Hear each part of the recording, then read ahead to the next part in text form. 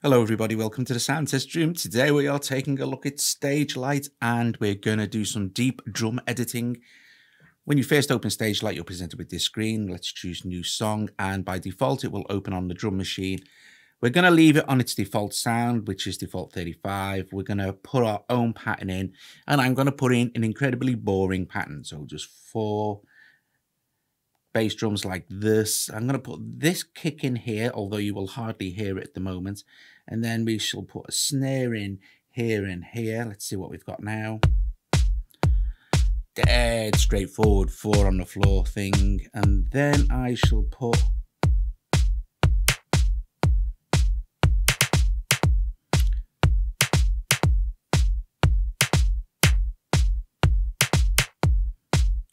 that other snare in there.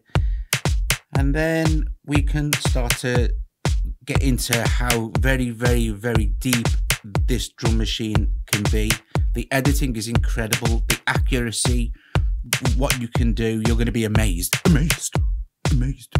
Okay so first of all let's just turn it down a tiny bit. If we want to add notes to this line all we need to do we can add them in like this obviously take them out like that. Or we can just hold this one and slide over.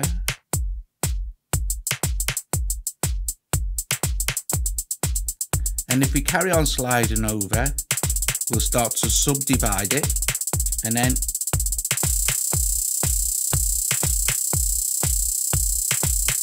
you can take them out as well.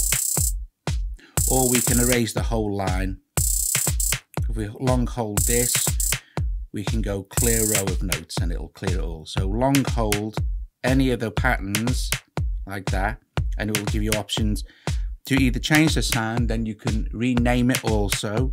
Duplicate it means you can make another one of it. Export it move it up move it down automate.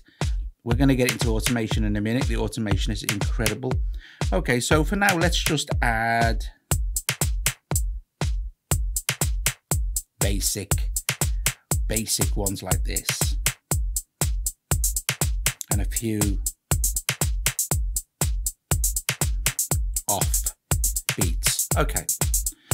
So far so good. Pretty bland pretty boring. We can expand our pattern if we want to but just let's leave it as it is. If you want to make the pattern longer tap this little square and you can do it one bar two bars. You can change the time signature. You can clear the row clear all usual kind of thing if you hit this little eye here, this will give you more options to uh, edit. So if we selected, say for instance, that one, though, that kick, and let's just open up this little arrow here, and you will see now I could move this kick down to the next row, just like that.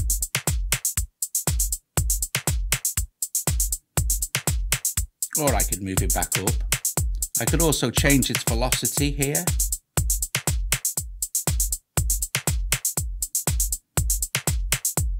It's already quantized, so hitting quantize isn't going to do anything.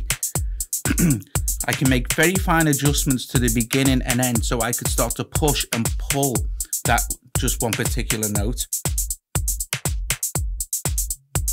Like, sorry about that, like this. So we'll push the start and it's going to start it. see? And then do the game this way. And then I could just quantize it back like that. Or I can move the whole thing.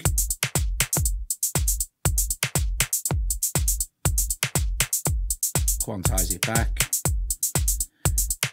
so that's how that works and you can select you know, multiples and stuff like that. Let's go back to our other view. Now, you'll see that now I have this screen open, I can select either any of the drums, any of the sounds. So let's do with this, uh, this hat here. So we can solo it, we can mute it, we can increase the gain, we can make it go uh, backwards And we can choose the stretch mode, either smart or vinyl. Won't make a lot of difference on a hi-hat. okay, so let's get into, oh, we can also assign it to a choke group. So at the moment it is assigned to a choke group and it would be for an open hat, for instance. Okay, so yeah, that's kind of self-explanatory. One sample will cut another one off in mid sort of sample, if you like. Now, let's start to go really, really, really deep. The automation graphs, they are absolutely incredible. To access the automation graph for any of these drums, okay, just hit this little gear icon at the top here. And then go down to automation. And then let's choose um, pan. And here is an automation graph. And they'll be highlighted for each of the particular hits. You can add in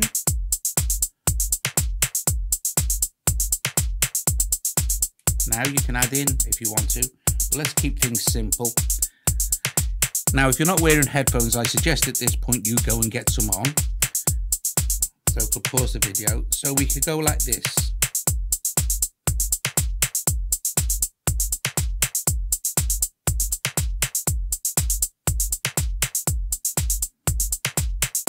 Okay double tapping more or less will get it back to your center position. Doesn't really matter. I'm going to add some more here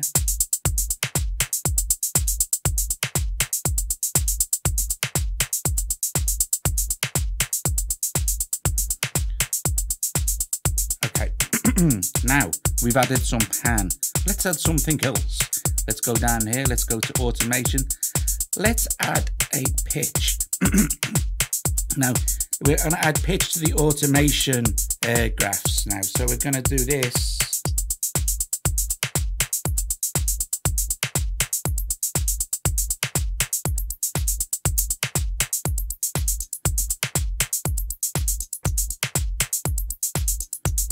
So now I've created a super, super interesting and, and hi-hat with lots and lots of movement.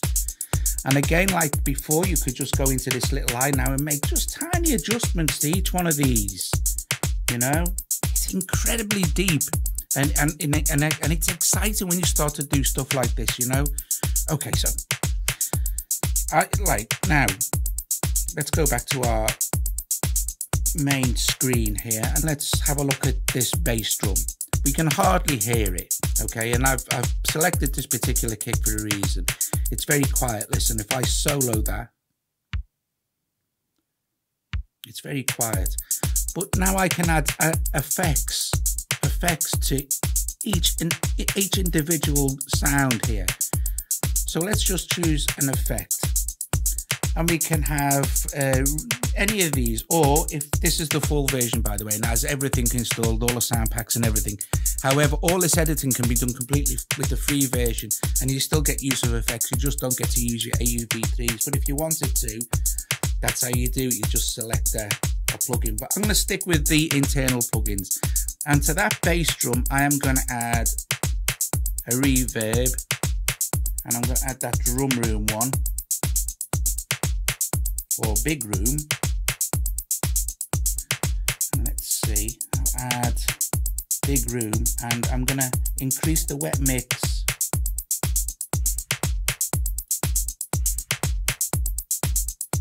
Turn the gain up a little bit. Turn the pre-delay completely off. Make that reverb a little bit wider. So now I've added a reverb to that one hit there so now you can hear it's quite nice. And I'm going to add another snare in here. And here and here. And because I've selected it now I now have control over all of this demo the snare it's called. And we're going to add an effect to that. We're going to add a glitch 6 Okay, so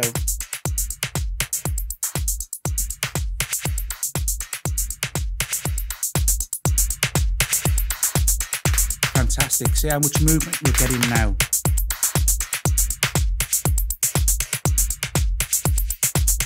Okay, let's add that. And now we can, because this is the open version, I can control all the parameters You can choose to reverse certain parts, repeat them.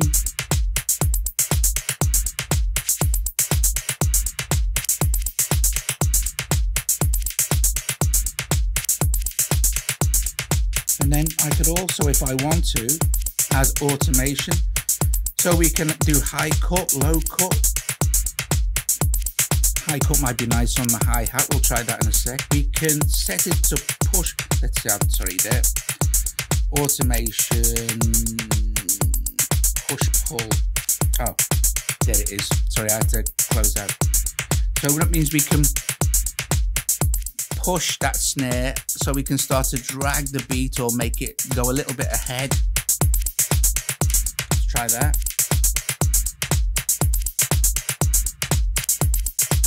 Getting some swing on that snare now, but we're controlling it.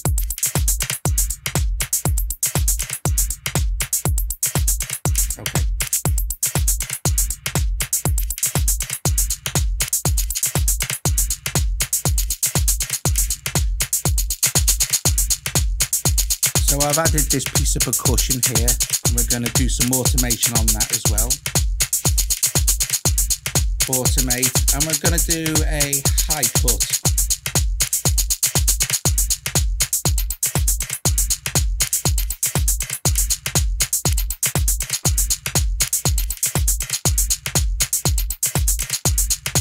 And also maybe let's add some uh,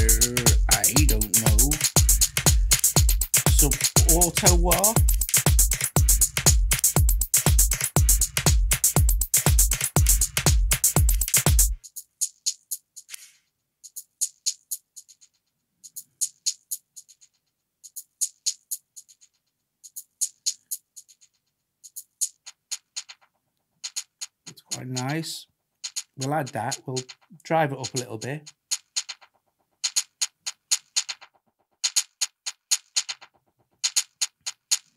Let's add it back in.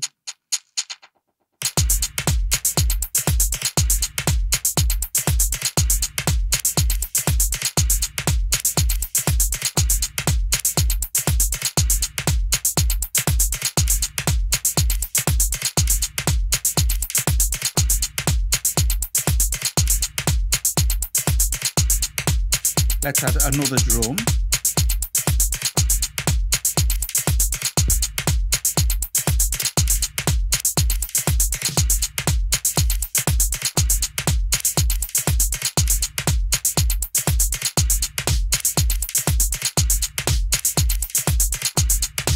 So I've added that snare there.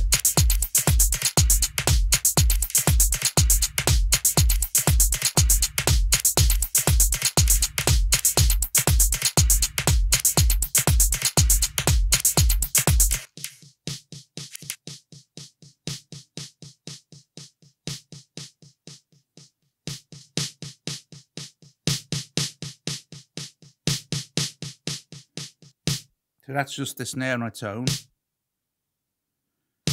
While we're here, we can tune it. Let's put the delay back in.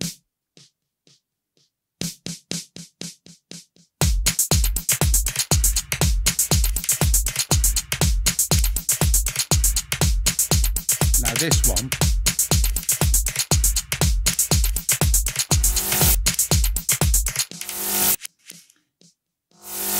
we could reverse that.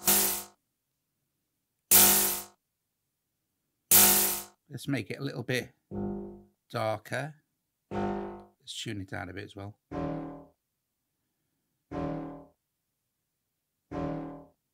Maybe drive the gain up a little bit. Let's apply some Bit Crusher. Let's apply Grit. Sonic Destroyer. That might be nice. I'm gonna leave it at that. I'm going to drive the gain up a little bit more for that.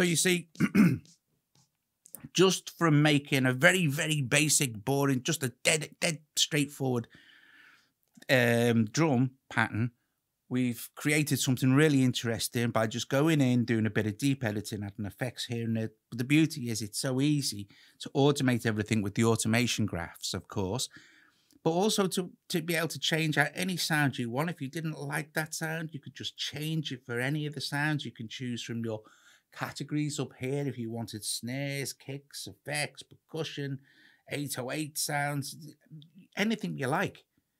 You know, it's so huge um, what you get. It's it's just brilliant. I, I the more I play with StageLight, the more I like the way it works. You know, um, I it's a it's and like my eyes are terrible. So I mean, the, the the dark is sometimes a little bit thing, but on this kind of contrast is fine for me. I can see what's going on. Um, but I, I like it, you know, and the fact that also I can just keep adding and I can just add, let's add another, you can go on and on. Some of these kits they've got in there are huge. They're massive, like they're 16, 17 pieces long, you know, and it's all editable. Now, let me see, we've got quite a few effects running. If we hold StageLight, where it says StageLight for a couple of seconds and then let go, it goes into CPU mode. Let's switch Soul Logic back on. and it's doing 12%.